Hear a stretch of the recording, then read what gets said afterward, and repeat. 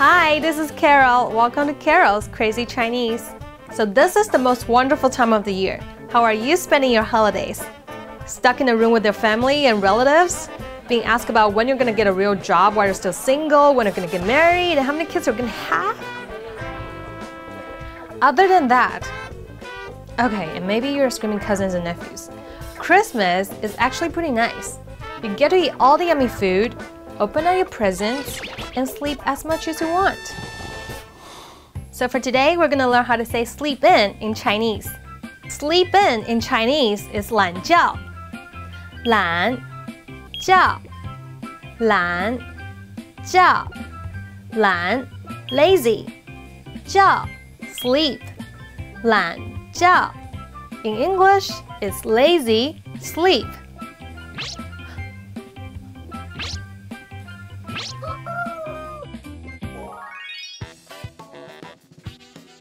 What's your favorite part of the holiday? Lan Jiao is my favorite part. I wish I could have Lan Jiao every day.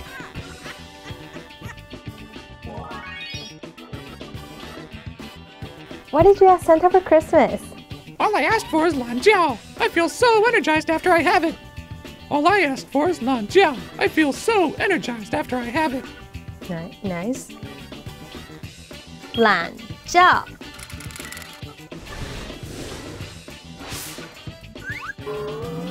Have you been getting enough lanjiao this holiday season? I would recommend you to take it in moderation because too much lanjiao might dampen your holiday spirits. It's also not so good for your health. No good. So some of you made some really interesting comments last week. Mark, that's right. I like foods and I like freebies. So Jason, you can just refer back to the comment I made just now. Easy breezy, lemon squeezy. Arms, I like your name by the way. Um, I don't dance merengue or however you pronounce that word, but I am quite a good dancer, as you can see in this video here. And you're welcome. Kelvin, thank you for challenging my Chinese teaching skill. I appreciate that.